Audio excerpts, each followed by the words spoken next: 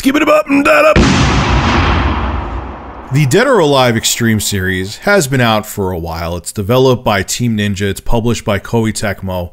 And what it is, is a bunch of women in bikinis playing beach sports, whether it be they're on jet skis or playing volleyball. There's boobs everywhere, and you're playing a bunch of things on a beach. I have no issue with that. I have zero interest in the game. I've never played one of the games in my life. I don't really care, though, that there's a bunch of scantily clad women. The games just don't appeal to me. But this still pisses me off to the core because what's happening with Dead or Alive Xtreme 3 is just fucking wrong and it's censorship to the nth degree. Now, the game is being released on February 25th, 2016, but it's not coming to the States. And you want to know why it's not coming to the States? Because of all these social justice warriors who would cry about the game and Koei Tecmo released an official statement on Dead or Alive's official Facebook page. Now, someone asked a question on the official Facebook page saying, Will Dead or Alive Xtreme 3 come to US and EU regions?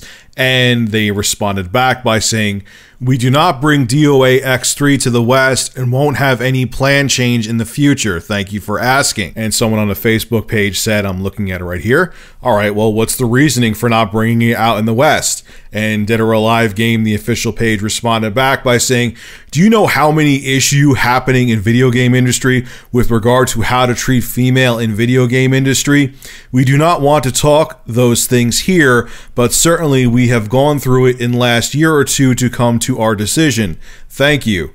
The broken English is actually coming right from the page. I'm, it's not me slipping up, I swear. Now, first and foremost, before anyone thinks that I was looking to get this game to FAP 2, I don't give a shit about the Dead or Alive Xtreme series. I don't care about the game in and of itself. But what bothers me is this is still censorship.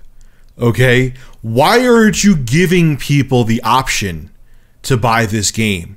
Because of the Anita Sarkeesians out there, because of the Zoe fucking Quinns, and all of the extremist feminists out there, because of all that bullshit. So you're taking away the option to see women playing a game like beach volleyball in a bikini in Dead or Alive Xtreme 3? What is next? Are you going to stop like swimsuit calendars? What are you going to stop models from modeling in, in bras and panties? Look, if you don't like the game and you don't like what it's about, don't buy it.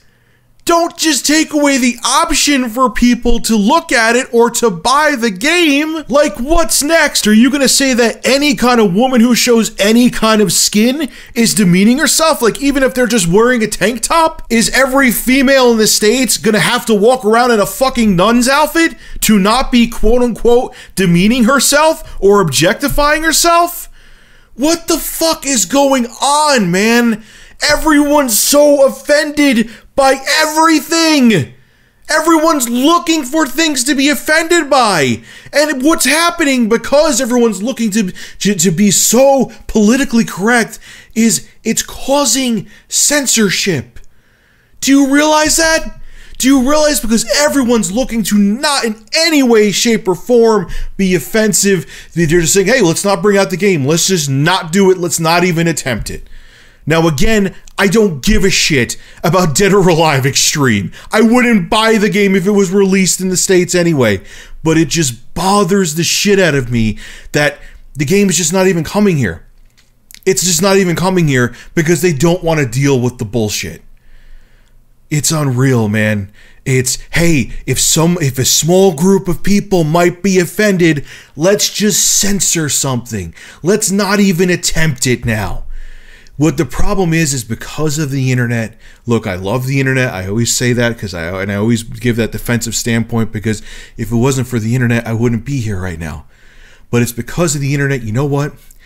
People are guilty until proven innocent. And even if they are proven innocent, they're still deemed guilty because people on the internet, the social justice warriors, the bullshit jury of the internet, pronounce them guilty it's a joke, man. You have people walking around with virtual pitchforks and tar ready to lynch anybody.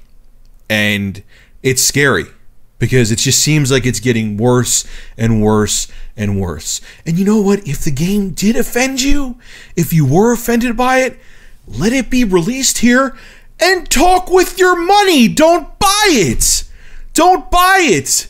And kids can't buy the game because Dead or Alive Xtreme 2 was rated M by the ESRB. You want to tell fucking adults what they can do with their money now? And you know what's funny too? I know what the lame excuse will be. Well, parents may buy it for their kids. Well, those parents are fucking idiots! They're idiots! Everyone else should suffer because a couple people don't know how to be fucking parents? What are we, the thought police now? Well, you know what? There's a group of people out there that suck at parenting their kids, so I guess we have to let no one be able to get the game. That's a brilliant fucking idea. Look, I have no idea what the solution to this is because this social justice warrior bullshit seems to get worse and worse every year. And I'm not just talking about feminists, I'm talking about everyone just seems to be looking to be offended by something. And what scares me is is what's happening because of that is that companies and groups of people are coming becoming the thought police. They don't want to, people don't have the right now to go out and buy this game. It's not like it's like they're trying to make a, a porn. Okay, I understand, you know, you got women and tits and ass and everything uh, all that, but it's it's just it's a game and it's rated M, it's for adults and you're just saying, no, we don't want to even give people the option. We are telling people that you can't buy this game in the States. We're not letting it, we're thinking for you because we don't like what choice you may make. If that doesn't scare the shit out of you, I don't know what will.